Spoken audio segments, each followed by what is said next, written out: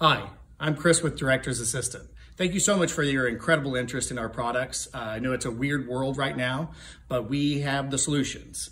We've got our blowhole mask and now we've got the bell covers, which we're about to show you. As promised, this is our blowhole mask. As you can see, there is a uh, dart here for the nose and two darts for the chin. That way it fits a little bit better on the face.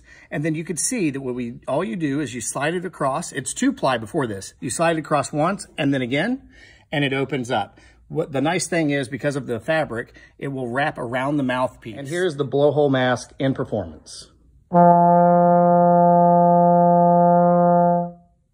And now I want to showcase the bell covers. Please notice that the pitch and the tone are not affected with the bell cover on or off. Uh...